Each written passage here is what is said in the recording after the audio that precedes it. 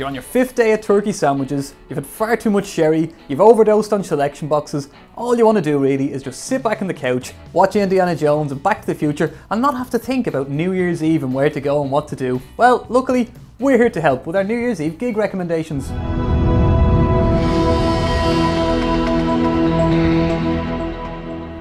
So in the Bello Bar, they're going to be having their New Year's party with floor staff headlining. They're also going to have Magpies, Participant and Tandem Felix, so four great bands, and all for the very low price of 10 euros, so that should be a great one to go to.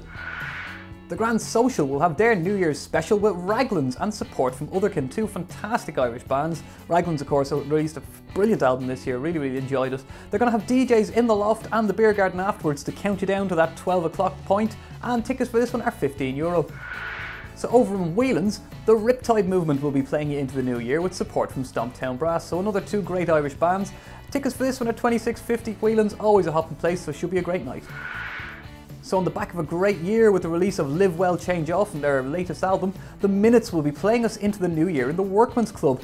Now they'll be ably, ably supported by Leaders of Men and Aoife Underwater, so three great bands there for 18 euro. So this one should be great fun. The awesome The Galaxy are headlining in Meeting House Square in Temple Bar. Going to be ably supported by Addy Hawk, Adult Rock and DJ Kelly Ann Byrne. That sounds like an absolutely amazing night. Four great acts and tickets for this one are 22.90. If you're feeling like getting a little bit uplifted this New Year's, the Dublin Gospel Choir are going to be playing the New Year's Eve Gala at Christchurch Cathedral. Tickets for this one are 50 euro, and not only will that get you a performance, it'll also get you post-concert champagne reception as well. Sounds like a great evening. There's an amazing lineup on Vicar Street this New Year's. Uh, Lisa Hannigan, the Booka Brass Band, Richie Egan, Declan O'Rourke, the Young Folk, Vagabonds, Interscholastic, Gavin Glass, and many more as well besides. That's going to be, that's an amazing lineup, absolutely incredible. Tickets for that one are 35 euro, and that's going to be a fantastic night in Vicar Street, I'd say. If you fancy standing outside and ringing in the new year, you can head to the Countdown concert on College Green. It's going to be headlined by Kodaline, who've really, really had a great year this year, and with support from James Vincent McMorrow, whose album was one of the best of the year, Post Tropical, an absolutely fantastic album.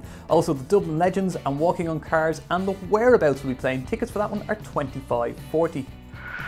Now, if you don't feel like joining the madness of New Year's and going out and queuing to the bar for ages and all that sort of stuff, maybe you're feeling a little bit more refined this New Year's, if you are, you could head to the National Concert Hall and head to their New Year's Eve gala, which will be the RTE Concert Orchestra and a big band conducted by Vince Mendoza with vocalist, and I really hope I'm pronouncing her name right, Trinity Oosterhuis. Trinity, apologies if I got your name wrong.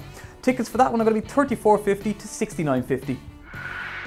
So a little bit different from the National Concert Hall, over in the Opium Rooms, uh, Orbital legend Phil Hartnoll will be playing a DJ set. That's sure to be absolutely stomping. It kicks off at 11 o'clock, so that will count you down into the new year in fine style.